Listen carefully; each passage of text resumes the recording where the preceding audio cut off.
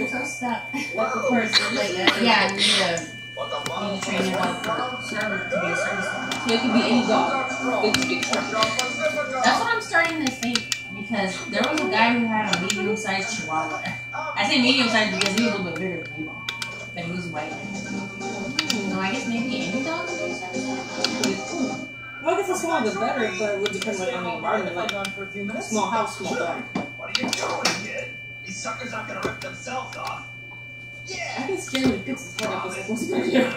Oh, he's coming after me. And I see all kinds of dogs, but usually they're about this size. Yeah. Maybe a little smaller. That's what I'm trying to have different dogs for different things. Like, like those who are diabetic, epileptic. Mm, I don't think If so. only I could be two places at once. Hold on.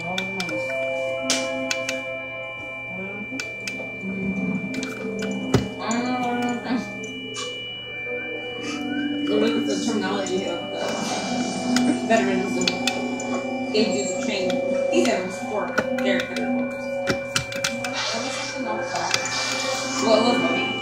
I don't remember. I have a really I've been like this all day. Oh my gosh.